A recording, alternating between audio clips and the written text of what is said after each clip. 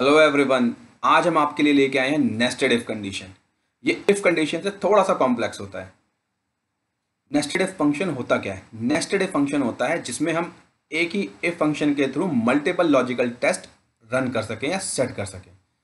तो आप बच्चे हों स्टूडेंट हों बिजनेसमैन हों या फिर जॉब करने वाले आप सभी ये वीडियो देखें, आपके ये काम आएगी। तो आइए अब हम स्टार्ट करते हैं नेस्टेड इफ़ फ़ंक्शन तो ये हमारे पास एक डेटा सेट है जो हमने ऑलरेडी तैयार कर रखा है, जिसमें हमारे पास एम्प्लॉय नेम है रीजन है सेल है एंड कमीशन परसेंटेज है, ठीक है? अभी फ़िलहाल के लिए मैं इन दोनों को हटा देता हूँ। अब मेरे को यहाँ पर सेल्स पे कमीशन देना है। हर कंपनी सेल्स पे कमीशन देती है, लेकिन यहाँ पर उसने क्या किया? एक सेल रेंज सेट कर दिया और साथ साथ कमीशन परसेंटेज कि अगर मेरा ज़ीरो से पाँच सौ के बीच में सेल होगा तो ज़ीरो परसेंट पाँच सौ एक से हज़ार के बीच में होगा तो दस परसेंट हज़ार एक से पंद्रह सौ के बीच में होगा तो बीस परसेंट और पंद्रह सौ से बड़ा होगा तो तीस परसेंट। अब हम इसको लगाना है हमें इसको इफ़ कंडीशन का फॉर्मूला यूज़ करते एक ही बार में तो उसको हम नेस्टेड इफ़ कहेंगे। हम क्या करेंगे सबसे पहले? अपना इफ़ कंडीशन लगाया अब हमने देना लॉजिकल टेस्ट लॉजिकल टेस्ट वही अपना सेल डी टू अब मैंने देना है वो ये वो, वो सारी वैल्यू जो कि मेरे इस सेल रेंज में सेट है। कि मेरा अगर 1500 से बड़ा होगा तो कितना होगा? 30 परसेंट। तो मैंने डी टू अगर लिखा पंद्रह सौ से बड़ा होगा। पंद्रह सौ से बड़ा होगा, इसका मैंने लॉजिकल टेस्ट दे दिया। अब मेरा रिज़ल्ट क्या होना चाहिए? ट्रू डी टू इंटू में थर्टी परसेंट ये मेरी हो गई ट्रू वैल्यू कि अगर मेरा पंद्रह सौ से बड़ा है तो मेरा परसेंटेज कितना होना चाहिए? सेल का थर्टी परसेंट ठीक है? अब हम कॉमा लगाएँगे, फिर दोबारा सेफ़ कंडीशन ऑन कर देंगे। इसी को हम कहते हैं नेस्टेड अगला कंडीशन मैंने क्या लगाया? अगर हज़ार एक से पंद्रह सौ के बीच में है अगर हज़ार एक से पंद्रह सौ के बीच में तो बीस परसेंट। तो अब हम इसको कैसे लगाएँगे कि मेरा अगर डेटा जैसे ही हज़ार से आगे बढ़ता है तो वो बीस परसेंट पे ले आता है। तो मेरे को कुछ नहीं करना, सिर्फ़ सेल का, सेल सिलेक्ट करना है डी टू ग्रेटर देन हज़ार।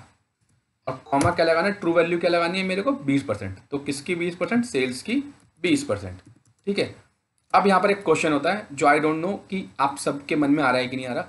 कि मैंने हज़ार एक से पंद्रह सौ के बीच में बीस परसेंट लगा दिया। चलिए ठीक है कि मैंने यहाँ पर हज़ार से ग्रेटर देन दिखा दिया कि जैसे ही हज़ार से ग्रेटर देन हज़ार एक होगा तो बीस परसेंट लेगा। लेकिन अगर हज़ार से ग्रेटर देन तो सोलह सौ भी हो सकता है मेरा अमाउंट और अगर सोलह सौ अमाउंट है तो मेरे यहाँ पर बीस परसेंट आना चाहिए, जबकि मेरे पंद्रह सौ से ऊपर होते तीस परसेंट है। तो ये मेरा फेल नहीं होगा। तो इसका आंसर है नहीं, क्योंकि हज़ार से ऊपर होते ही बीस परसेंट है। चलो मान लो मैंने सोलह सौ डाल दिया। तो जैसे ही मैं 1600 डालूँगा तो मैंने एक ऑलरेडी क्राइटेरिया यहाँ पर सेट कर रखा है कि अगर डी टू पंद्रह से बड़ा होगा तो तीस परसेंट होगा। समझ रहे हो? इसका मतलब हज़ार से बड़ा है 1600 ठीक है। तो अभी तक यहाँ पर 20 परसेंट हो गया।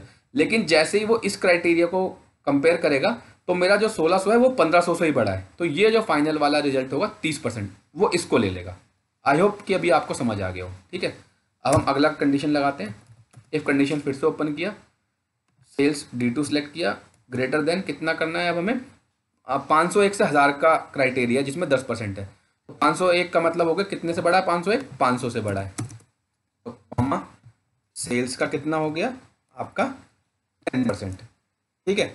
अब आप देखें, मैंने तीस परसेंट लगा दिया, यहाँ पर बीस परसेंट वाला क्राइटेरिया लगा दिया और दस परसेंट वाला क्राइटेरिया भी लगा दिया। ठीक है? अब बचता है मेरा ज़ीरो परसेंट। तो जब भी आखिरी क्राइटेरिया बचता है तो हम उसे कहते हैं फॉल्स वैल्यू में पुट करते हैं। तो कॉमा लगा के अब आपका क्या होगा? सेल्स का ज़ीरो परसेंट। ठीक है? क्योंकि मेरा लास्ट वाला क्राइटेरिया बचा है। अब मैं क्या करूँगा? ब्रैकेट बंद करूँगा। जितने ब्रैकेट ओपन उतने ब्रैकेट बंद। तो मेरा एक, दो, तीन। तीन ब्रैकेट ओपन है तो एक, दो, तीन। एंटर मार दो।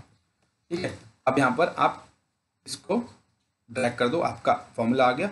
अब आप यहाँ परसेंटेज भी लगा सकते हो। कमीशन अपॉन में सेल्स ठीक है?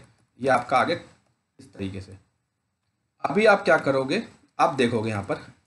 मैं आपको एक एक करके समझाता हूँ। देखो, मेरा हज़ार है तो मेरा कमीशन कितना है? सौ मतलब कि दस परसेंट। तो हज़ार पे कितना है? दस परसेंट। ठीक है?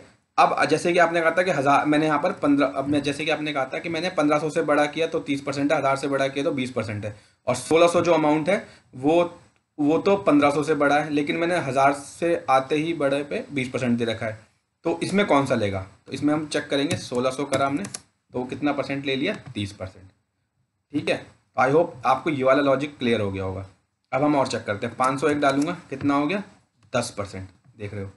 अगर मैं इसको पाँच सौ कर दूँगा एग्जैक्टली तो ज़ीरो परसेंट हो गया। ठीक है? इसी तरीके से मैं इसको पंद्रह सौ एक कर दूँगा तो वो तीस परसेंट लेगा। लेकिन जैसे ही मैं इसको पंद्रह सौ करूँगा, वो इसको बीस परसेंट लेगा। ठीक है? तो आई एम होपिंग कि आप सबको ये सेशन समझ आया होगा अच्छा लगा होगा।